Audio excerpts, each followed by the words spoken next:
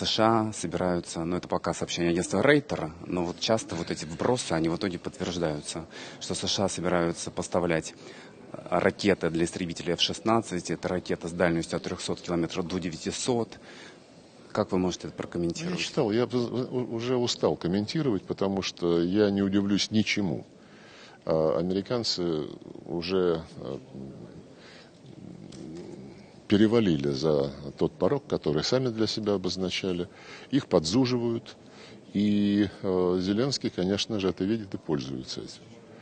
Но э, они должны понимать, что тут шутят про наши красные линии. Не надо шутить про наши красные линии. И они прекрасно знают, где, где они проходят.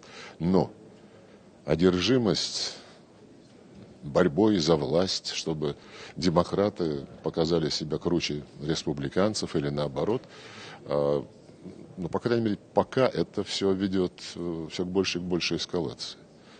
Я убежден, что э, там есть разумные люди, которые имеют определенное влияние. И надеюсь, что интересы Соединенных Штатов будут учтены. Я еще раз хочу процитировать э, заявление господина Кирби, который координатор по коммуникациям в Белом доме, и который говорил, что надо очень осторожно подходить к наращиванию поддержки Украины, чтобы не спровоцировать Третью мировую войну, потому что будет жалко Европу. То есть у них генетически сидит убежденность, что их никто не тронет.